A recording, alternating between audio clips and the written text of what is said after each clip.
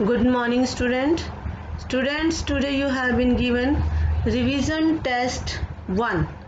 Before this we have completed 6 revision sheets.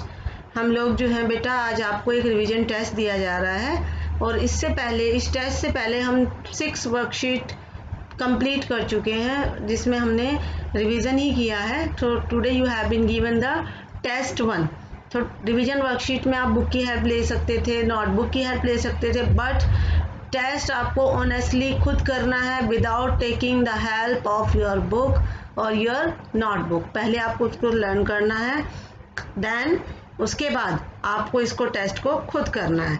Then tomorrow I will send you the answer कल मैं आपको answer भेज दूँगी. Then you have to tally your answer फिर आपको अपने आंसर चेक करने हैं. देन इवेल्युएट योर सेल्फ फिर अपने आप को इवेल्युएट करना है कि आपके कितने मार्क्स आए हैं. So watch the video carefully and then do your test okay let's start from question number one write the name of five things you carry in your school bags आपको five things के नाम लिखने हैं जो कि आप अपने school bag में ले जाते हैं। उन फाइव थिंग्स के नेम लिखने हैं। First second third four five so यहाँ पर आपको फाइव थिंग्स के नाम लिखने हैं जो कि आप अपने स्कूल बैग में लेके जाते हैं।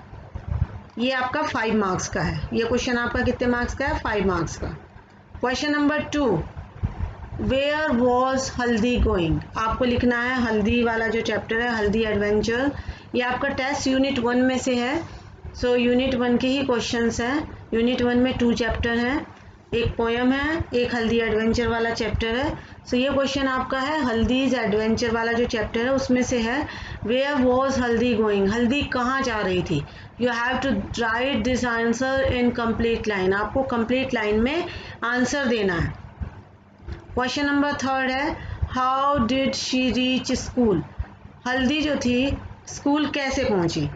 हल्दी स्कूल जा रही थी। उसके बाद आगे वो स्कूल कैसे पहुँची? You have to write in complete line how did Haldi reach school next question है write the four lines of the poem paddling pool अब आपको क्या करना है इस क्वेश्चन में? आपको पैडलिंग पूल जो पोएम है, उसको, उसका जो है ना, उसकी फोर लाइन्स यहाँ पर लिखनी है। जो हमारी पैडलिंग पुल पोएम है, वो हमारी यूनिट वन में ही आती है तो उसकी फोर लाइंस हमें यहाँ पर लिखनी है। तो ये आपकी जो टेस्ट है फाइव मार्क्स का ये है और ये वन एंड हाफ़ का ये है वन एंड हाफ़ का ये है फाइव एंड थ्री एट और टू मार्क्स की आपकी पोएम पोएम की फोर लाइन्स है। So students do it carefully without taking the help of the book or the notebook. So, do the test honestly. And you have been given the answers of the questions, yesterday's answer. कल का जो आपका worksheet था, उसके answers भी यहाँ पर दिए गए हैं। टैली योर आंसर आपको अपने आंसर टैली करने हैं, यहाँ से देख करके। I hope you have understand how to complete the test okay student good luck have a nice day